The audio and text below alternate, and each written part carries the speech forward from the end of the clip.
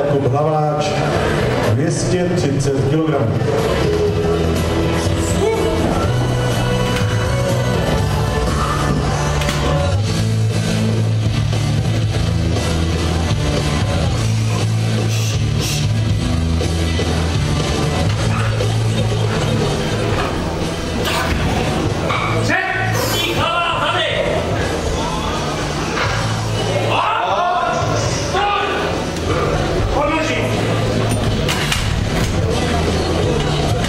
Bohužel pro technické nedostatky pokus neplatí.